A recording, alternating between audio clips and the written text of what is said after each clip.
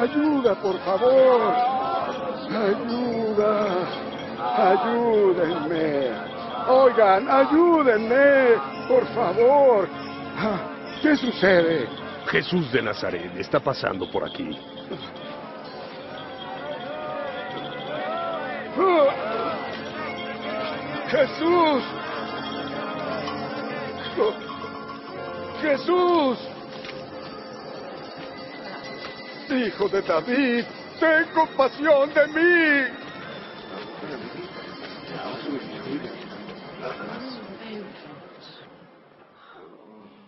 ¿Qué quieres que haga por ti? Quiero recobrar la vista.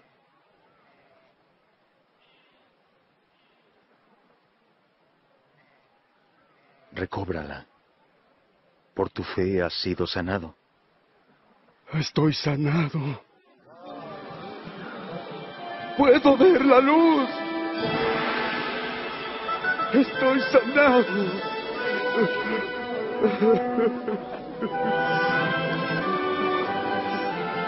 Milagro, milagro. Palabra del Señor. El poner a trabajar nuestros talentos es cuestión de amor, de gratitud y de fidelidad. Por esto, digámosle, ayúdame, Señor, a cumplir tus mandamientos, es decir, a dar frutos, a poner a trabajar los talentos que me has regalado. Y que el Señor nos conceda la gracia de nunca quedarnos satisfechos con lo que hemos hecho, o de quedarnos sentados a un lado del camino pidiendo limosna. Tengamos la humildad del ciego y el deseo de querer ver y así poder decir al Señor, Jesús, Hijo de David, ten compasión de mí. Es muy necesario, mis hermanos, reconocer nuestra debilidad, para así poder escuchar ese diálogo amoroso del Señor que se interesa por nuestra vida y que nos dice, ¿qué quieres que haga por ti? Para que le podamos decir, Señor, que yo vea. Es decir, Señor, que yo vea mi debilidad, que yo vea tu amor. Señor, que yo vea esa confianza que tú tienes en mí a pesar de que yo sea ciego. Señor, que yo vea mis talentos.